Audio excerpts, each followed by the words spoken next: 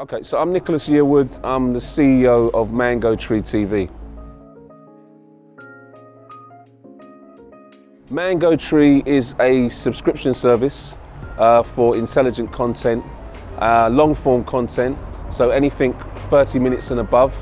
Uh, and it's content that is um, specifically inclusive and representative.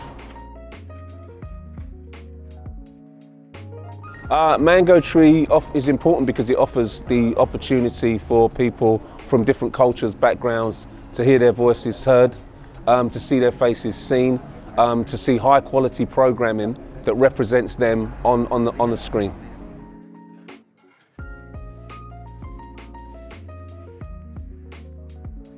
I think that the, the, the, audiences are constantly changing towards content. Uh, when you're on the train, on the bus, on the street, you'll see that people are, uh, the, the, emergence of second screen. So people watching content on their laptops, on their phones, um, on other devices.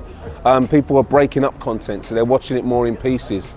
And um, then you've got the, the, the, you've had the advent of binge um, watching, which is watching content all at, um, at the, the, same time, or in one evening or one day. Um, you know, there's there's a lot of changes in content that are directly related to the streaming industry, which is what we're part of. So the streaming industry is, is, is still fairly new, even though Netflix has, has, been established for a while and the large companies have been established for a while.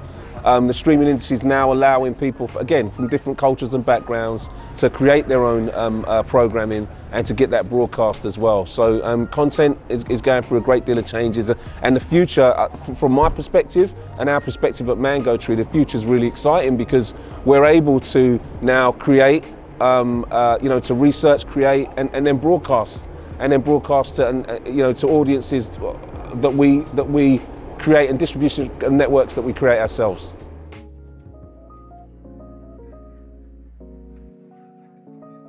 I mean, you, know, that, that question answers itself um, because they're underrepresented, and, and, and that is important.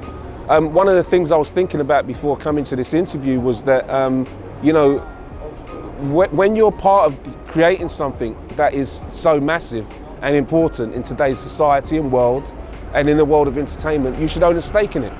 And and and increasingly, what we're seeing is that those that create um, uh, the, these, you know, the most popular dramas or the most popular subjects of dramas um, are not in control of them. And, and when I say that, I mean, um, you know, uh, women, people from uh, women, people from minority backgrounds, people people who may have um, uh, uh, you know diversity in terms of their sexual orientation, you know anything that where, whereby we what we today class as minority are not actually in control of what what the popular um, uh, the popular content it consists of.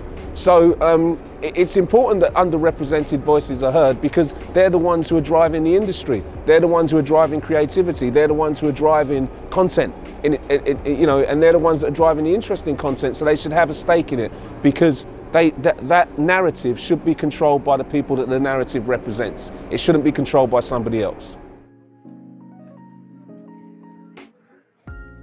Um, you can expect Mango Tree to grow you can expect Mango Tree to invest in um, projects that are um, inclusive and representative.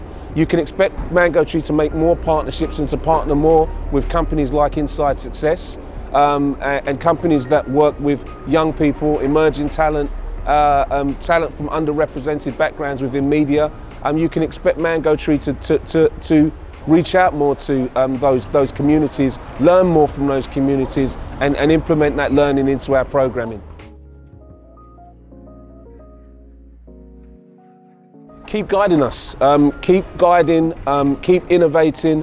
I'm inspired and, and was inspired by um, what happened in this country, in the UK, in London, um, specifically London, but in, in, in different communities in, in, around England, but specifically in London, because I'm a Londoner from East London, um, um, I'm inspired by what happened in the music industry with people like, from my generation, with people like Wiley, but also later on with people like Stormzy, who instead of joining record labels, created their own record labels. Instead of having a distribution company distribute for, for them, they distribute it for themselves. Um, instead of um, going to uh, uh, already established communities, they establish their own communities. Um, I'm inspired by young people, so uh, in terms of advice, I would say, you know, advise us. Um, tell us which direction to go in.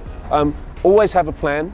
Um, always have structure. Don't don't um, disregard the importance of structure and a structured plan, and, and, and never be ageist either. I think that um, and, and, and that goes for forward and reverse. I think it's really important that uh, whilst I'm speaking about emerging um, uh, uh, in, in industries in audiovisual and in content, I'm not um, saying that the, the established things like terrestrial television don't have something to teach us. If you look at those organisations, they've been hugely successful. And so there's something to learn from them.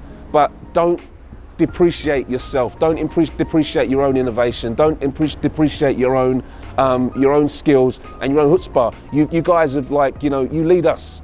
Um, it's not the other way around. So with youth, um, I'm always looking to be inspired by them, not just to, to give advice.